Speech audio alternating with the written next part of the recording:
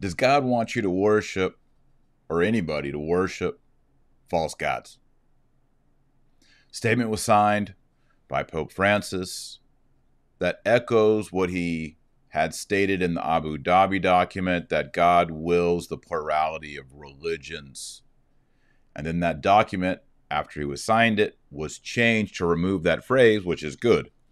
But I mean, let's just take a moment here. If you're watching right now on YouTube, if you're listening, you'll just have to imagine in your mind if you're on Audible, iTunes, podcast. But if you're if you're watching right now, look on the screen. Okay, this is Ganesh. This is elephant head god of Hinduism. Ganesh. This is the most ridiculous god ever created, false god, by humans. It's like a really it's an overweight guy with an elephant head wearing makeup. Right, people worship Ganesh.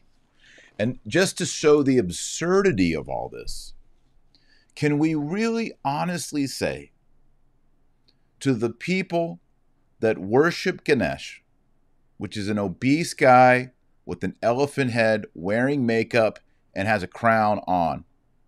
Oh, and multiple arms. Is that right? Yeah, we got four arms on there.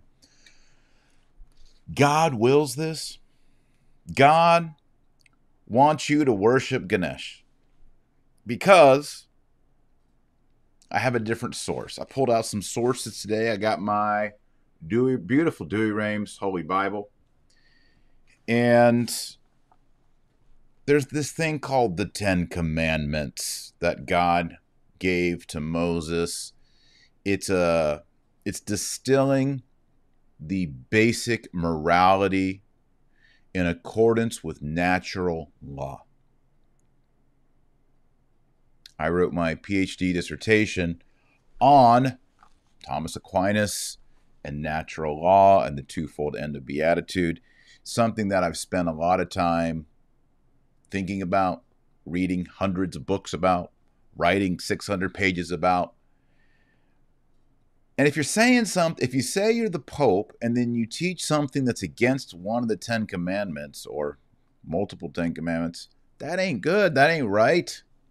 So I'm just going to read you commandment number one from the Ten Commandments. And if you want to read the Ten Commandments in the Bible, you got to go to Exodus chapter 20. And the Lord spoke these words I am the Lord thy God who brought thee out of the land of Egypt, out of the house of bondage. Thou shalt not have strange gods before me. Period. End quote. How is it that a bunch of religious leaders could get together, sign a statement saying that God wills the plurality of religions? The Father, the Son, and the Holy Ghost are up in heaven saying, Man, you know, we will just as we will race and male, female, gender, for people to worship Bacchus or Ganesh, the elephant head god. We're all about that. We, we are all about the idea that people are trying to worship us and pray to us without the mediator, Jesus Christ, without baptism, without the Eucharist, without confirmation, without the priesthood instituted by Jesus Christ at the Last Supper. How can you throw this out? So we're going to open up with our prayer. We'll pray the Our Father to the Father through Jesus Christ, the prayer Jesus gave us, not Ganesh, not the elephant head. And then we're going to look at what Francis signed and the controversy that is kicking up on it. So let us pray. Oremus nomini Patris et Filii Spiritus Sancti. Amen. Pater noster, qui es in celi, sanctificetur nomen tuum, adveniat regnum tuum, fiat voluntas tua, sicut in cielo et in terra. Panem nostrum quotidianum da nobis odie, timite nobis debita nostra, sicut et nos dimittimus debitoribus nostris, et ne nos inducas in tentationem, sed libera nos a malo. Amen. St. Pius X, pray for us. St. Moses, pray for us. Nomini Patris et Filii et Spiritus Sancti. Amen. All right, I'm going to put my big Bible away. Douay-Rheims, commandment number one, thou shalt have no strange gods before me. What that tells me, as a simple man living in Texas, what that tells me is God does not want me, you, anyone living in India, living in Dubai, living in China, worshiping Ganesh, worshiping the god of Muhammad, worshiping Pachamama. These are not the Father, Son, and Holy Ghost. All right, so what's going down? I'm going to take Ganesh off the screen because I just don't like looking at this demon. It's no good. All right, so there was a meeting in Kazakhstan, which is where Bishop Athanasius Schneider is uh, a bishop. And as you remember, there was quite the, hmm, I don't want to say controversy. It was more than a controversy. It was a a claim that the Pope taught heresy. You see, back in 2019, and I covered it here and did uh, several podcasts on it, had guests, we discussed it. There was a document called the Document on Human Fraternity. This was in February 2019. It was in Abu Dhabi. And it had a controversial statement in it, which I will read. And it says The pluralism and diversity, this is a document of, of Pope Francis, quote, the pluralism and diversity of religions, color, sex, race, and language are willed by God in his wisdom through which he created human beings, end quote.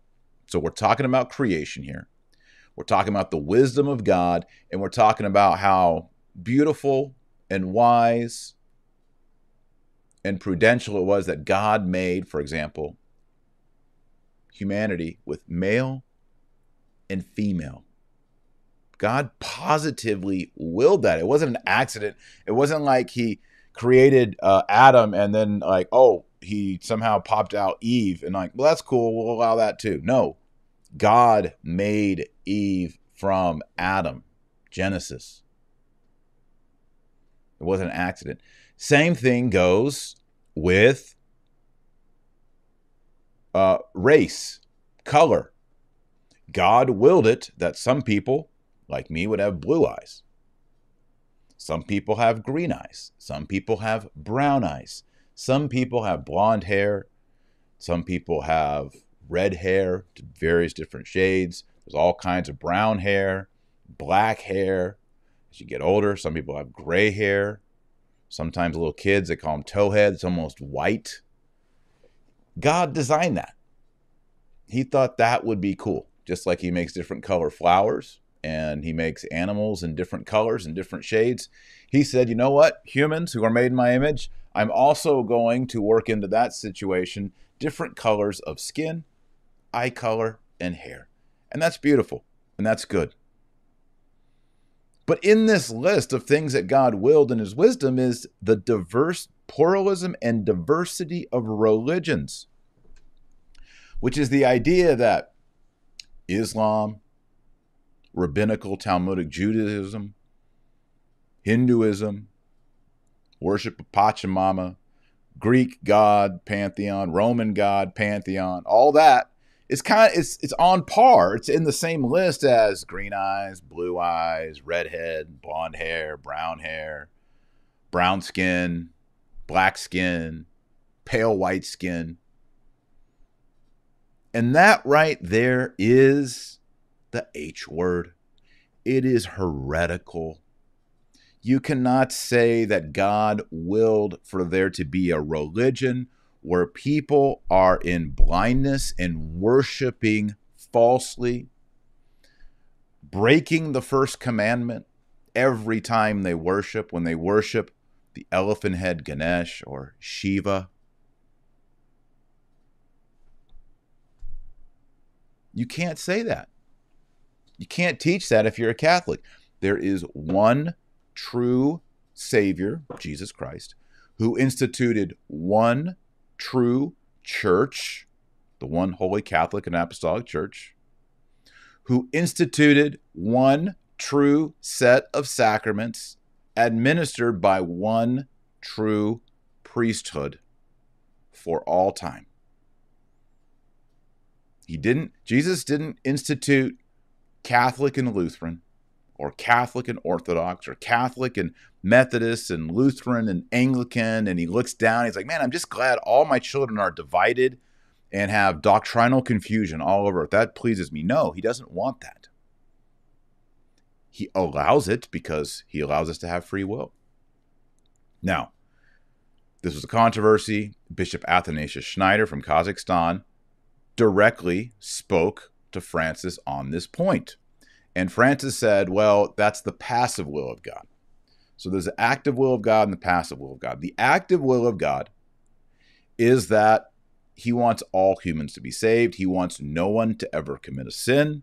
He wants every child to have two parents that love them. That's the active will of God to keep the 10 commandments, to be baptized, to love Jesus, etc. There's also what theologians call the passive will of God. This is what he allows because of human free will. And he allows certain things that are harmful somehow for the greater good, like your house flooding, like you getting a form of cancer. These kind of things are the hard parts of being a believer. These are the things that atheists point to and say, ah, your God is mean, your God is cruel, because he passively allows these things to happen. If he was a really nice father, he would always intervene and never let any of these bad things happen, but he does. So, what Francis said to Bishop Athanasius Schneider is well, although it says that God wills the plurality and diversity of religions, what, what that really meant was God passively allows it or wills it. The problem with that is, and we've gone over it again, and Bishop Athanasius Schneider brought it up, is that everything in the list, for example, God made sex, male, female, the male sex, the female sex, that was actively willed by God. It wasn't just like, well, I'm just going to allow women to exist. No, that's not how God. God wanted there to be male and female. That's how he created them. It wasn't passively, no, mm, just okay, I'll let that go. Like you would cancer cells or a flood or a tornado. So the way that the sentence is set up does not allow for how Pope Francis said, well, that's what it really meant passively. Let me read to you again. The plural, pluralism and diversity of religions, plural, religions, color, sex, race, and language are willed by God in his wisdom, through which he created human beings. It's not the case. Here's a response from Bishop Athanasius Schneider. And this whole controversy, the recent one today, is interesting because all of this is happening in Kazakhstan, where Bishop Athanasius Schneider is. Here's Bishop Athanasius uh, Schneider in his response. And I'm very grateful because I think Bishop Athanasius Schneider is perhaps the holiest bishop I've ever met in person. And he also wrote the foreword to my best selling book, Infiltration. So I, I'm forever grateful to Bishop Athanasius Schneider for that. Here's what he said, quote, "According to the will of Christ, faith in him and his divine teaching must replace other religions. However, not by force, but by loving persuasion, as expressed in the hymn of lauds for the feast of Christ the King. Non ille regna cladibus, non vi metuque subdidit, altu levatus stipite, amore traxit omnia not with the sword. Force and fear, he subjects the nations, the peoples. But lifted up on the cross, he lovingly traxit, draws, traxit. It's like where we get the word tractor, tractor beam.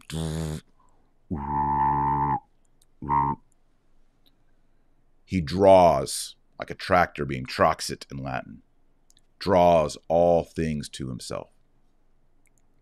The way that Christ and the apostles converted so many people, and the great missionaries like uh, St. Francis Xavier, was not by sword, like Muhammad, not by fear, but by going up on the cross and becoming a sacrifice. And Athanasius Schneider properly says that faith in him and his divine teaching must replace other religions. You see, if you are a Druid living in Ireland and St. Patrick comes to your town and y'all are worshiping all these totems and idols and gods and you're doing the Wicker Man thing, that's what they used to do. And he comes in and says, Hey, God became man in the womb of a virgin. He lived a perfect, sinful life. He died on a cross for your salvation. He rose on the third day. He instituted a church that you should join. And I'm going to tell you about his teaching and invite you to join the church. And they did. But they couldn't say, well, we also want to still be Druids. That's cool too, right? No, no, no, no, no. In fact, many of these missionaries, especially in the medieval era, when they come to town and people convert, what do they do? They have them physically destroy their idols. And then often they either destroy their temples or shrines or they convert them with exorcisms and holy water and make them into churches. They drive out the demons and bring in Jesus. So there's a replacement that goes on. Bishop Athanasius Schneider is absolutely correct. So, what does the text say? I've got to credit a guy that I see a lot of interesting, good stuff on Twitter, and that is Nick Donnelly.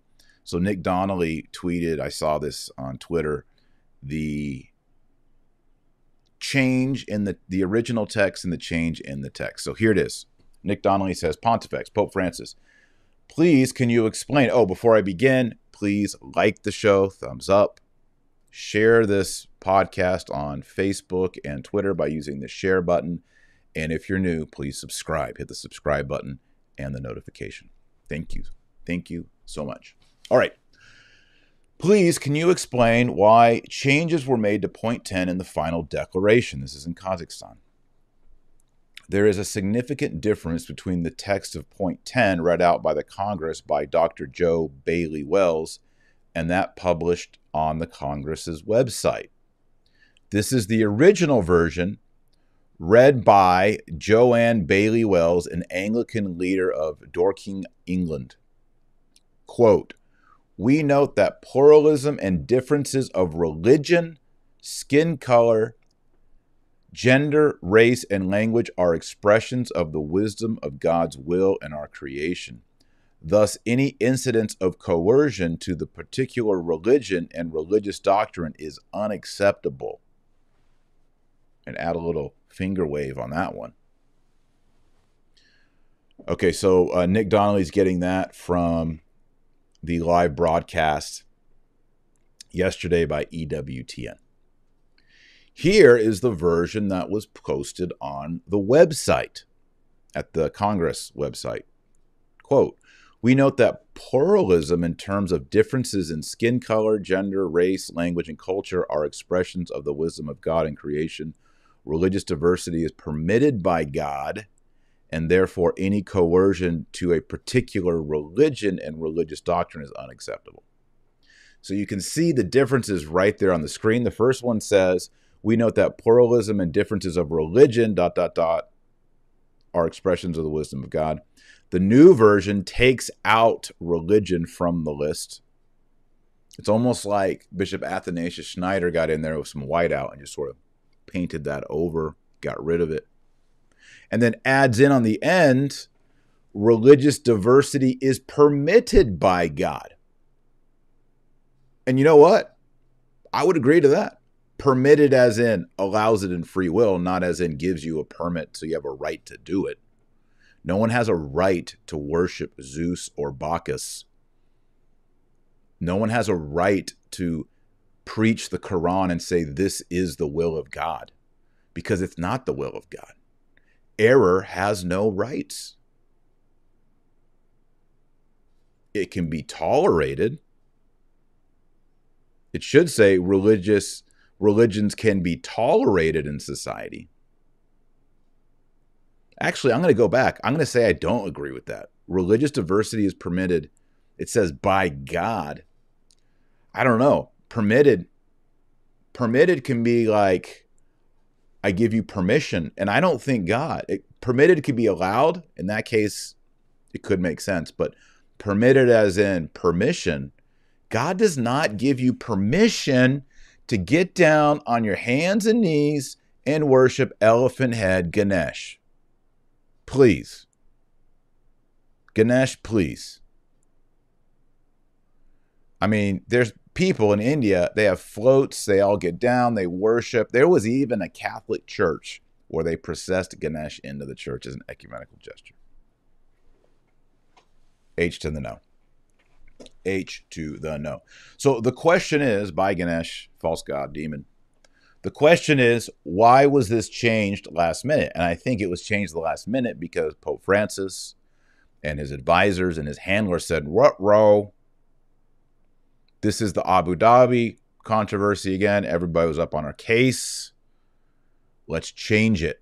So, what was read in public and signed is different than what was put on the website, according to Nick Donnelly. Now, before I talked about this, I was like, I got to make sure this is legit.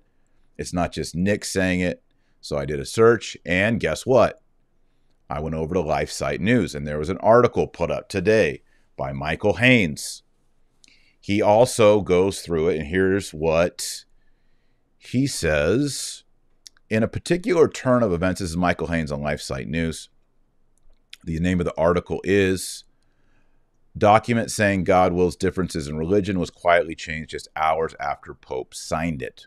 So he's confirming that Pope, the Pope signed it before it was changed, which is heretical. Michael Haynes says in a particular turn of events, the ecumenical declaration read out and signed by Pope Francis at the Seventh Congress of Leaders of World and Traditional Religions held in Kazakhstan has since been changed. The original version appeared to go against Catholic teaching, and it is not known if Pope Francis agreed to the updated version. The original version of the declaration was read aloud by Anglican prelate Dr. Jo Bailey Wells in front of assembled leaders of the Congress. Can I just pause here? Why the heck is the Pope of the Catholic Church at a Congress of leaders of traditional religions? What? Why why why is he there? I wouldn't go to that. Okay, Taylor Marshall, free ticket. Come out to uh, the Congress of World Religions and Traditional. I'm not going to that. I don't believe in that. I mean, I believe in traditional religion, singular, as in traditional Catholicism. Oh, incidentally, uh, Lawrence England had uh, this on Twitter. Okay, which wise guy added quote marks to Pope Francis's name display? And you can see they put quotes around Pope. Pope quotes around it, Francis. And I was like, well, maybe that was just the styling on the name card. So then I went and looked elsewhere, and then I found this picture of the guy next to him. He doesn't have quotes, he's just David. But Pope Francis, I guess, is ecumenical meeting, and they don't believe in the Pope, so they put his title in Pope quotes. Interesting catch there by Lawrence England. Props to him. So Michael Haynes at LifeSite is saying that Francis, that not only was the change made, as Nicholas says, but that Francis signed it in the heretical original version, and then later it was published different. So, what is really going down here? No good. It's no good to have a man who's the vic who says I'm the vicar of Christ. And every cardinal in the Catholic Church right now says Francis is the vicar of Christ. Whether you're a sede vacantis or you think Pope Benedict XVI is the real pope, every valid, legit cardinal of the Church of Rome, of the Catholic Church in the Apostolic See, says Pope Francis is the Pope. And he issues documents and he wears the white zucchetto and the white cassock. And he is signing statements that say, and I quote, We note that pluralism and differences of religion are expressions of the wisdom of God. How does that fit with the first commandment of the Ten Commandments? I need a savvy Jesuit. I mean, I need a Jesuit who's got like three PhDs to take me by, well, not take me by the hand, to walk beside me and, and accompany me and explain to my dull, dense Texas brain how it is that God can can will in his wisdom. Remember wisdom is another word for Jesus Christ in the Bible. How God in his wisdom can will the diversity of religions and the 10 commandments be true. You shall have no strange gods before me. I just need the smartest slick I mean I might need James Martin SJ I might need James Martin to come on this podcast and explain to just stupid podunk Texas Marshall how it is that God in his wisdom can will all these religions and Ganesh and Islam and Talmudic Judaism, indigenous Pachamama, all that and say, Have no other gods before me, no strange gods, and no idols of those gods, like Elephant Head Ganesh. I mean, am I just dumb? Am I a stupid guy? For those of you watching in the live chat right now, am I dumb? What am I missing? When I became a Catholic, I believed, and I still do believe, that there's only one Savior, there's one God, one Savior, one true religion, one true church, one true set of sacraments. And that God wants everyone to accept that package deal. Was I dumb? Did I mess up somewhere? Along the way, was God just upstairs winking and saying, Ganesh is kind of dope. I like Ganesh. It's kind of funny, and I allow it. Like there's people out there worshiping a fat guy with the elephant head on with four hands. That's kind of cool, you know? Like, haha. Wait, is that the Holy Trinity is, is in his wisdom? Gives everybody permission for that? Am I dumb? How come I cannot put this round peg and jam it into this square hole of ecumenism, of Nostra Aetate? Do y'all know any slick Jesuits who could help me out to understand that the Jesuit theology of Pope Francis is the same as Moses? That no strange gods means, yes, get with a group of other people at a Congress of religious leaders and take photos and sign documents together when all these people represent different religions, different faiths, different gods, different rituals, different liturgies? Am I just stupid? Jerusalem Gem says, not dumb, just funny looking. Yeah, maybe that's it. Maybe I'm dumb and funny looking. I just don't know.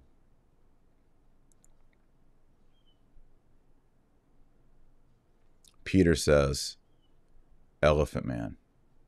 Yes, it's Elephant Man.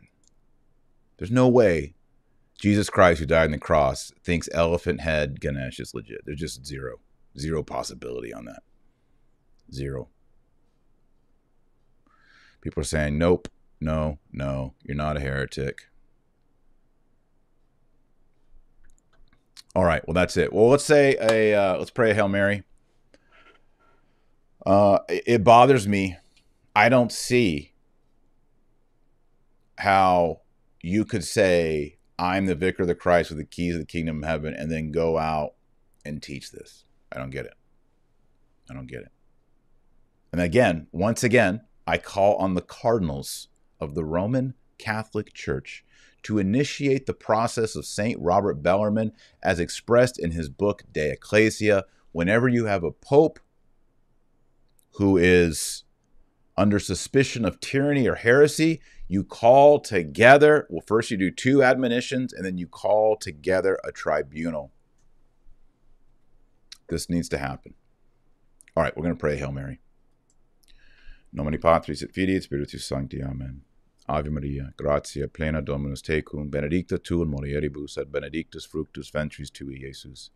Sancta Maria, Mater Dei, or pro nobis peccatoribus, nunc et or mortis nostrae. Amen. St. Robert Bellarmine, pray for us. Nomini Patris et Filii et Spiritus Sancti. Amen. All right, thanks for watching today, and make sure you like, subscribe, share this video. You are my algorithm. People watch these videos. Why? Because YouTube promotes them? No. People watch these videos because you, the viewers, hit the share button and you say, hey, check out Taylor Marshall's latest podcast. Here's the link. Boom. You hit the share button. It's really easy to do. It takes you two to four seconds to do it. And if you're new, please join our 390,000 subscribers on this channel and growing. Let's get those numbers to 400,000 and 500,000. Who knows where we'll go from there. So make sure you subscribe, hit the bell, and um, there'll be more great content coming. And of course, make sure you're praying your rosary every single day. If you don't pray the rosary, you're not on. Don't pray the rosary every day, you're not on the team. Until next time, remember our Lord Jesus Christ is you're the light of the world and the salt of the earth. So go out there and be salty. God bless and Godspeed.